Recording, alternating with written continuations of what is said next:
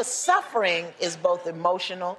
If I can come Does back to everybody you for get one that? moment. Did everybody just get One that? Because that's such a you big suffer- moment. Every time she made a mention to hip hop culture, it was something that was wrong with it. And it was something that was on my CD that was the largest debut in hip hop album. The inimitable Oprah Winfrey might be known as the queen of media, having built up a cross platform empire. See everything from Oprah Radio and O, the Oprah Magazine to Harpo Films and Oprah.com, worth more than a staggering billion dollars. But you might not necessarily expect the talk show legend to be the queen of shade. After all, the TV personality is renowned for advocating kindness, assisting others both in a financial and self help sense, and for her compassionate interviewing technique, whether she's interviewing members of the public or members of the royal family.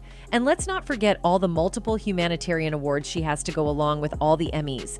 And yet, even a fairy godmother like figure, Oprah still has her moments. From mocking Hollywood legends and belittling supermodels to political quips and family conspiracies to ruining the careers of those she sees as a threat, the rapper turned film producer 50 Cent recently gave a chilling encounter of how the media queen ruined the career of renowned author and spiritual teacher Iyanla Vanzant. Vanzant is an African American author, TV personality, and spiritual teacher known for her writing, which empowers and inspires people of color due to her terrifying stories growing up. Growing up, Vanzant faced a challenging childhood, overwhelmed with poverty, loss, and abuse. She faced many high points and many low points in her young life, which shaped her to be the fierce black woman she is today. She has turned these moments into life lessons for not only herself, but for the millions she inspires. Vanzant overcame an unhealthy amount of adversity and tragedy growing up. I was an abandoned child living in his home, and I was crying out for love, the author stated when opening up about being assaulted by a family member on her TV show. These traumatic events in her childhood fueled her passion to help and free others. In her early adulthood, recently divorced, Vanzant moved out and attended law school, where she became a public defender in Philadelphia for three years. However, after not receiving the satisfaction she yearned for in law, she took up writing. She wrote her first book titled Tapping the Power Within a Path to Self Empowerment for Black Women in 1992, which won multiple awards and pioneered her career. Since then, she has written over 30 books covering various spiritual, mental, and ethical topics. One example is Trust. Mastering the Four Essential Trusts, a book Vanzant wrote in 2015, which takes readers through various ethical and moral situations, such as a sibling stealing from you and other family betrayals. In her book, Vanzant asks the question Do I want to be right about how wrong they were, or do I want to find and claim peace? Her second career as an author brought her work, her passion for saving, to the eye of the media.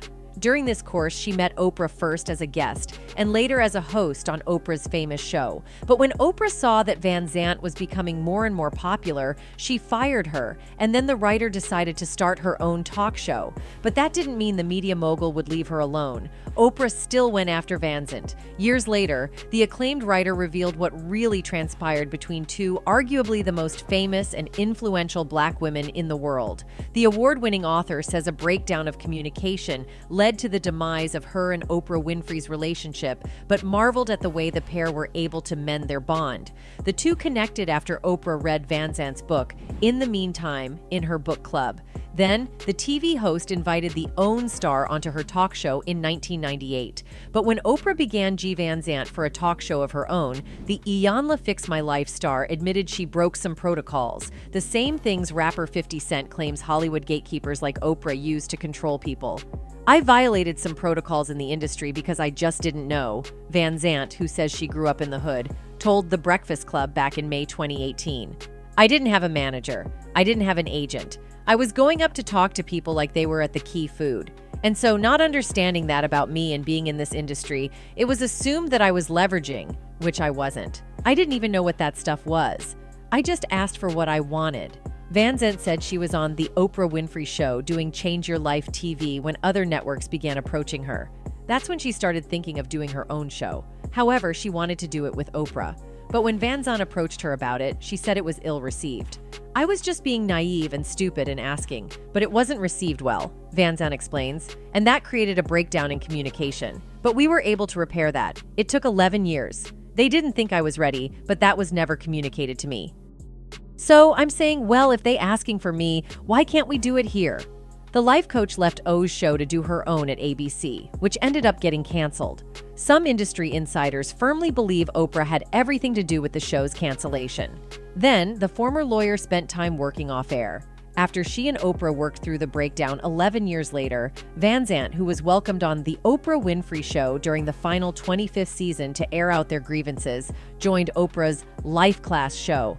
But the billionaire mogul told Vanzant she needed to get her own program. Thus, Iyanla Fix My Life became a staple of the Oprah founded OWN Network. On that show, she's tried to help celebrities get their lives on track, including rapper DMX, reality star and rapper Hazel E, and actress and model Karrueche Tran. After the latter's episode aired, Tran told the Angie Martinez show that she regretted going on the program.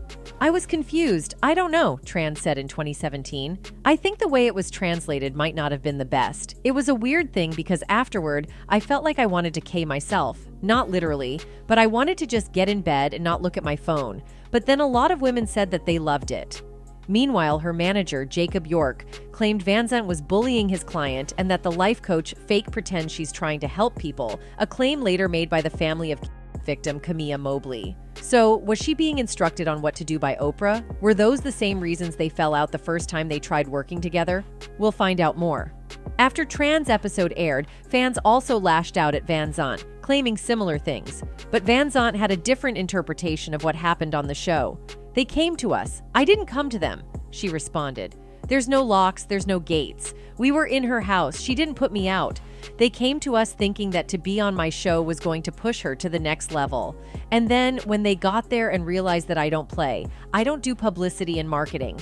And when I asked Tran some hard questions, York wanted to pull it out, and they wanted to craft and construct what I did.